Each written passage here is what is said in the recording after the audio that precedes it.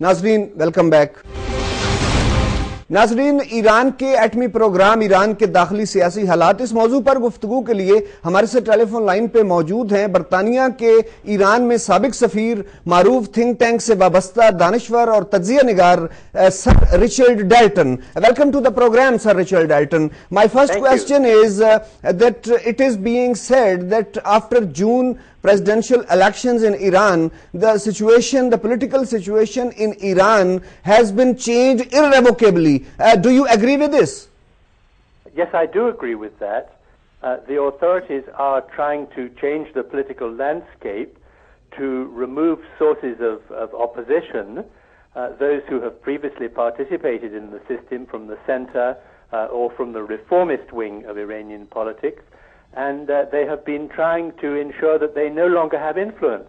At the same time, there has been many people protesting the results of the presidential election, and uh, at the moment there is uh, a deadlock between these two tendencies. The authorities are unable to eliminate dissent and disagreement and to force through acceptance of what happened in the presidential election and at the same time, the protesters are unable to uh, seriously uh, weaken the uh, governing authorities at the moment. Although nobody can be sure what will happen in future, the situation is fluid. Okay, so uh, you you think that uh, neither the protesters are going uh, they, they, are not successful in creating any dent against the government and the government is not successful in suppressing this agitation. So what's going to happen? What do you what do you foresee in the years to come? Well for 2010 i can see several possibilities. One which i think is unlikely is that the regime will succeed in totally suppressing the dissent on the streets, uh, in marginalizing those who disagree with their policies. Uh, a second al- alternative is that the, the deadlock will continue, that uh, the government continues to take decisions, uh, the parliament the, and the government cooperate, the, the supreme leader decides on foreign policy. In other words, life carries on much as we have seen it in previous years. Uh, but there is a continual undercurrent of disagreement and dissent and uh, dissent below the surface. Um, a, th- a, third possibility is that uh, those who disagree, who are now calling for a change in the way the Islamic Republic of Iran is run, do get the upper hand, and that the authority of the regime starts to crumble, the loyalty of the security forces is put in question. So uh, there are three alternatives, and at the moment it's impossible uh, to say which is the most likely. Okay, okay. Sir, after 79, after Islamic revolution in Iran, uh, we have seen that uh, the supreme leader uh, has been he has been elastic and he has been uh, allowing various reforms to happen like we see in Ali Khatmi's tenure and Hashmi Rafsanjani's tenure. But this time it, uh, we are witnessing that Ali Khamenei is uh, uh, he is very hard and he is uh, uh, outrightly supporting Mahmoud Ahmadinejad. So you think that the attitude of Supreme Leader Ali Khamenei, it is too hard and it is inelastic and not letting any reformists to take place in the government? Yes, I, I agree with that. Um, I think that the, the leader of Iran, uh, Khamenei, decided uh, many years ago that the future of the Islamic Republic would not be safe if the reform current was allowed to continue flowing strongly in Iranian political life.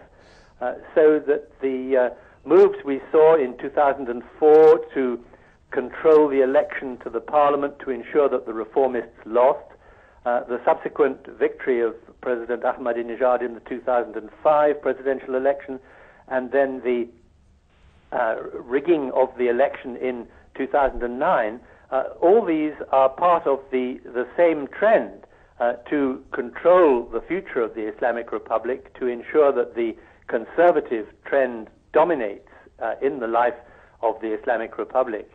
Uh, and yes, uh, a, a, a, a, different approach would have ensured greater stability in the country, uh, and that would be to accommodate some of the uh, demands of the opposition. But um, Ayatollah Khamenei has set his face against that. Right. Uh, there are some reports which suggest that Ali Khamenei is uh, uh, going all out in the support of uh, President Ahmadinejad uh, because of a very critical stage of Irani nuclear program. Uh, do you agree with this that the establishment, the religious establishment in Iran, they want to ensure that the president's setup and the incumbents are right now in Tehran, they should remain the same until Iran achieves its nuclear targets? I think the motivation for the support which the Supreme Leader and the security forces have given to the conservative trend is primarily domestic. Uh, I believe there is a, a, widespread consensus in Iran that goes beyond the uh, conservatives that uh, Iran should continue to develop its nuclear uh, enrichment program. Uh, so uh, I, I, don't think I agree that the main reason why the developments have been as we have seen them is because of the need to uh, protect the, the, the, nuclear program. I think that's a, a separate matter of uh, national security policy as uh, the uh, conservative uh, group sees it, uh, and they are determined not to allow the international pressures to control what they do. Right. Uh, so we have seen that uh, the Western uh, negotiators, uh, they are not getting successful. Especially in the last few days, we have seen that China has uh, rejected uh, a fresh package of sanctions in Security Council. what's going to happen? what what options America and it, its allies have in their hands to deal with the Iranian nuclear program? The, the Americans and others have made clear that the road to negotiations remains open, uh, but uh, at the moment there are no such talks taking place, which is very unfortunate. Uh, the reasons for that is that there has been deadlock on the proposal made uh, earlier in uh, last year for refueling of the Tehran research reactor. That's one thing. And secondly, there's been deadlock on the likely agenda for wider talks on the long-term future of Iran's entire uh, nuclear program. Uh, so at the moment, there are no ideas in play to break either of those deadlocks. Uh, but uh, I believe that the uh, six negotiating countries, including China and Russia, uh, are right not to rule out a return to negotiations. Uh, at the same time, there are likely to be continued international discussions on